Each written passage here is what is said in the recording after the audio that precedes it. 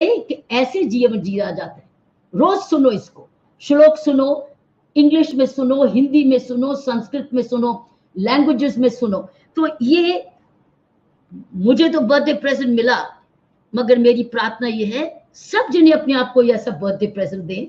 और मैंने पूछा, ये कहाँ मिलती है ये मिस्ट्री तो मुझे बताया गया है कि सेफ़ शॉप के चैनल पे मिलेगी। और ये भी बताया कि